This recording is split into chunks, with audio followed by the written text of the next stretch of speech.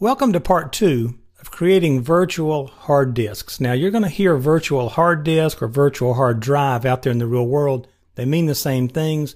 You could even see that differing technology and terminology on the exam. So just kind of watch for that. Now what I want to do here in part two is show you how to use uh, the computer management tool, specifically the disk management tool, to create a virtual hard drive, mount it, and see it appear in the Windows Explorer. So these things aren't just for virtual machine use necessarily. So what I'm going to do here is I'll click the Windows key.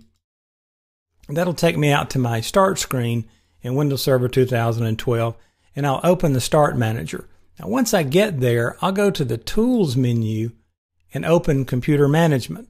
And once Computer Management opens up, and I'll make that full screen so it doesn't look junky, I will go into disk management and you will notice I have attached a 16 gig USB drive to the machine here and I formatted it with NTFS. And so it's sitting out there and I want to put a virtual hard disk on this particular drive.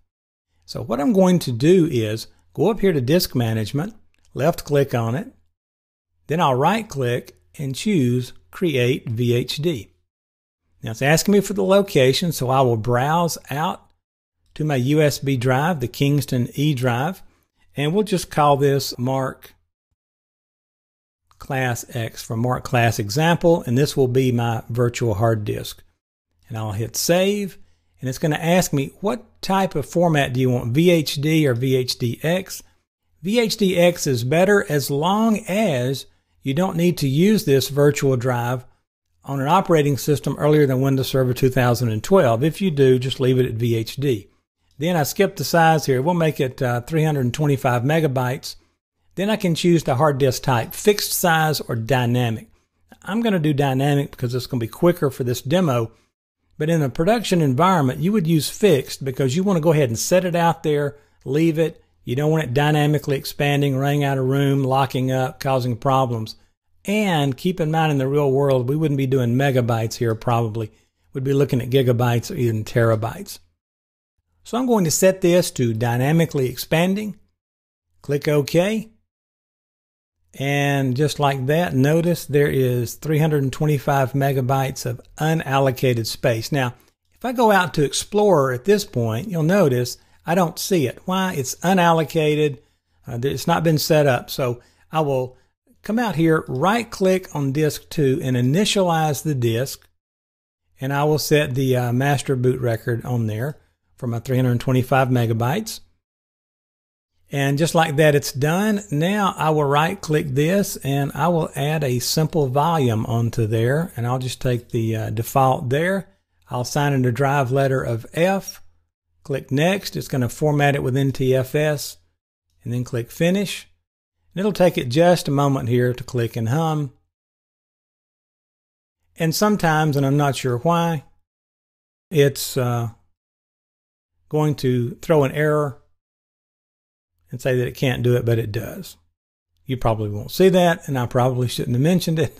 but anyway, sometimes you see it, sometimes you don't. It's kind of the nature of IT, right? So notice now it says I have a new volume F. Now if I go out to the Explorer, there is my new volume F. And notice it looks just like a disk out there. And uh, it has 292 megabytes of 321 megabytes free. So it looks like a disk. It acts like a disk. It feels like a disk, but it's actually a virtual hard disk. And so I can use them that way.